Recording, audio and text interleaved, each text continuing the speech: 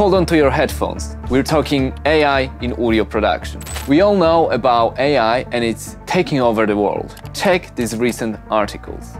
But in this video, I want to explore how AI will revolutionize audio production, making it easier to achieve professional sound quality even if you're just starting out. We also talk about how AI can threaten traditional jobs in the industry, replacing pros like me.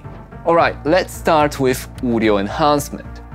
But sound quality is why I have my job, this and my Polish smile.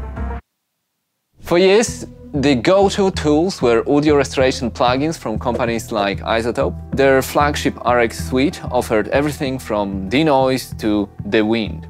However, the price was, and for advanced tier, still is quite steep, and the learning curve was uninviting. Here comes AI. Lately, we've been bombarded with loads of AI enhancers. Adobe Podcast lets you upload a file to a cloud, eliminating noise and enhancing clean speech for free. Let's have a look how AI in audio enhancement really works. So I've got a few clips here. I've recorded myself clean in English, in Polish. I've also made it so it's bad quality, and then I'll have a clip recorded outside. So me talking in English. This is an example of a bad quality audio. Let's see how AI can fix it. And that's the bad quality. This is an example of a bad quality audio. Let's see how AI can fix it. So, you know, it's not unusual to get clips like that. Let's get the enhancer and upload the English bad clip and see what it does. Alright, it cleaned up the English clip. Let's have a listen. This is an example of a bad quality audio. Let's see how AI can fix it. This is an example of a bad quality audio. Let's see how AI can fix it. So it did clean it up, but as you can see, it introduced a lot of artifacts and it sounds quite fake and it's because of my accent. Let's now try with the Polish clip. This is a clean one. To jest przykład źle nagranego dźwięku. Zobaczmy, czy AI może to naprawić. And that's the bad one. To jest przykład źle nagranego dźwięku. Zobaczmy, czy AI może to naprawić. Let's upload the bad one. Alright, let's have a listen. To jest przykład źle nagranego dźwięku. Zobaczmy, czy AI może to naprawić. To jest przykład źle nagranego dźwięku. Zobaczmy, czy AI może to naprawić. Again, it cleaned it up, but it sort of mangled my speech, especially towards the end. Now I have another clip that I recorded for another video. It was recorded outside, there's a lot of noise, wind, passing cars. Let's have a listen. As you can hear, it's quite noisy. Wind, cars, dogs. But what if we could make it sound? Let's upload it to the enhancer.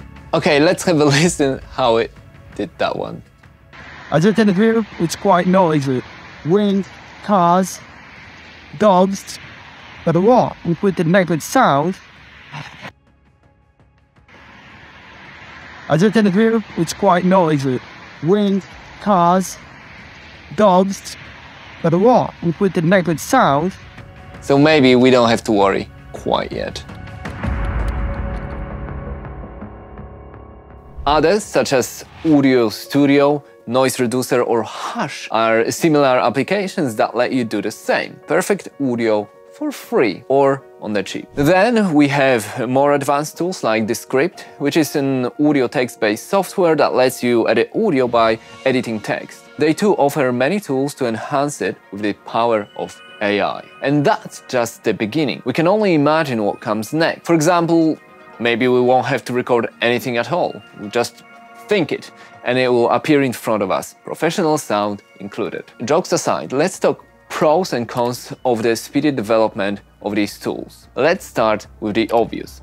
Accessibility, time savings, and cost savings. These plugins, apps and tools are easy to use for anyone. You drag and drop the files and the perfect audio pops up at the other end. Now that saves us time because we don't have to play in iZotope RX modules or try to find the perfect one for the job. And of course, cost saving these tools are free, as beta of course, but they will be much cheaper than the ones of the past. It is a good thing though, right? Well, we'll get to it. Of course, the biggest plus is improved sound quality. Uh, these services will try to make your audio better, which is a good thing. Better sound means better content for everyone. But let's not just run off into the world ruled by AI. There are some concerns that others, myself included, have. I tried some of these tools before, and if you did this for work, you quickly understand that accessibility comes with caveats. The need for customization is a big one. Because yes, you can drag and drop, but that's really it for now. You don't really know what will spit out at the other end. These programs scan the speech and try to enhance it by generating a clear one on top. If you have a Polish accent, that can freak them out and produce a bit of a gibberish. I also tried it with really bad sound quality clips and it couldn't understand the words, so it made up some stuff and chucked it on there. We also need to think how perfect the sound we want. Yes, if you recorded an interview, you want it to sound crisp and clear. But if you're working on a storytelling podcast, a film or documentary, the noisy audio, as long as it's understandable, it's part of the immersion audio recorded outside or on location or in crowded space. If everything sounds like it was recorded in a studio, it becomes unnatural and fake. And the last thing on the list is privacy concerns.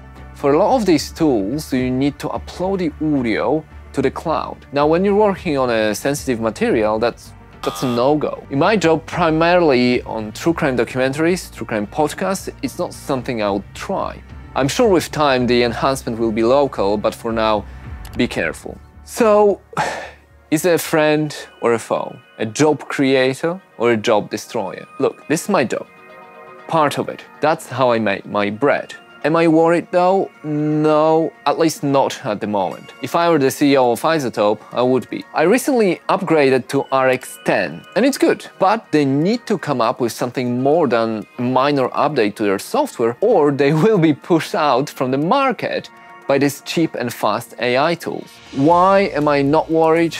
I am passionate about creative work, editing, pacing, mixing, scoring, and storytelling with sound. However, tasks like denoising and cleaning up dialogues are necessary but less fun. If tools could help me become 10 times better, 10 times faster, I could focus on the creative aspects of my work. Because we must remember that it's about more than just the tools themselves understanding how, when, and most importantly, why we use these tools sets us apart as professionals worth paying for.